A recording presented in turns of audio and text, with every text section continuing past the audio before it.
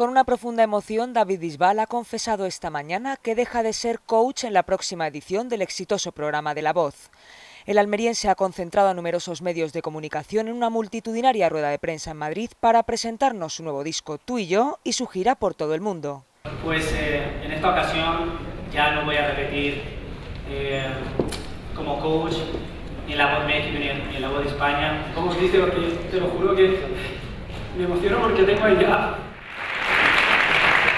Lo que pasa es que, bueno, estaba hablando, contestando una pregunta y he visto ahí a...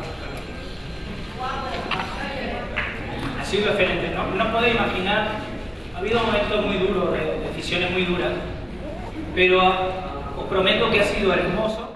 La verdad es que he podido compaginar muy bien con este concepto acústico eh, mi participación tanto en la de España como en México, pero bueno, ahora no va a ser posible.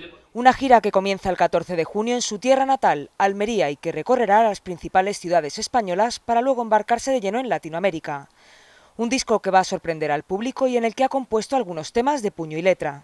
Tenía que conseguir canciones que rítmicamente, tanto baladas, canciones eh, rápidas, tuvieran una esencia totalmente diferente y muy en la actualidad musical.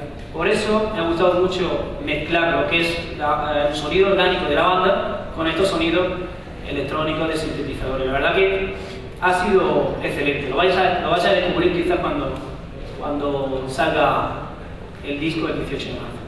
David Bisbal además ha querido adaptarse a los tiempos que corren con una propuesta que permitirá a todo el mundo tener el disco y su entrada en la gira.